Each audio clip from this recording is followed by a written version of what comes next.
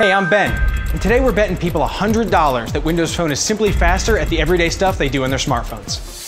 What kind of phone do you have? I have the HTC Evo 3D. I have a Motorola Atrix actually. Motorola Atrix. That's a pretty good phone. You've got a Samsung Galaxy S2. Nick has a Galaxy Nexus, correct? Flagship phone of Google. The flagship phone of Google. Android phone, pretty good phone. Yeah. You like it? Oh, I love it. It's the best. Okay. It's the best. Strong words from our friend Justin. Why don't we do this? Why don't we try taking a picture Uh-huh. and then posting it up to Facebook? So why don't we look for someplace nearby, find like a four-star restaurant, okay? And then we'll pull up directions there. Ready? One, two, three, go, go, go.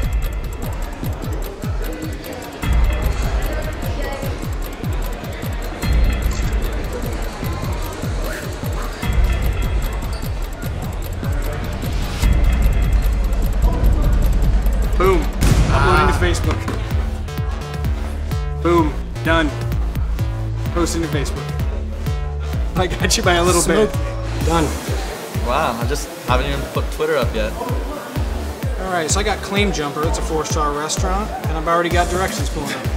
And I'm uploading to Facebook. What? So let me show you why this works. Tap this button here. It's called Local Scout. It shows me nearby places to eat and drink. I can just find whatever I want, whether by rating, by type. I tap Starbucks. It gives me everything that I need to know about Starbucks. All I have to do to take a picture on my Windows phone is I just have to hold down the button, take a picture, and then I've got one-touch sharing up the Facebook. This is called my Me Tile. It tells me everything about me and connects me instantly to all my social networks. My Motorola Droid X got smoked by a Windows phone. I got smoked by a Windows phone.